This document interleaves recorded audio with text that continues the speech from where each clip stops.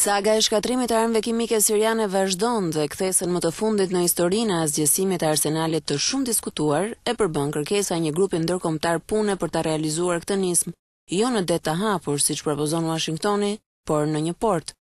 Shtetet e Bashkuara ofruan të eliminojnë kimikatet siriane në një anije amerikane, megjithatë ende nuk është gjetur një port i përshtatshëm mesdhetar nga ku mund të kryhet ky proces. Craig Williams, drejtues i grupit të punës për armët kimike, tha gjatë një konference për shtyp në Hagë, se po të kryhet asgjësimi larg bregut, çdo stuhi sado e vogël do ta zhyste operacionin në kaos. Shtypi e ka theksuar se për faktin që asgjësimi do të ndodhë në një anije, do të ketë probleme e nuk është rasti për të thënë një gjë të tillë. Por fakti është që nëse do të bëhet në anije apo në ujë, Do të preferoja më shumë një port, thjesht për qëndrueshmërinë e operacionit.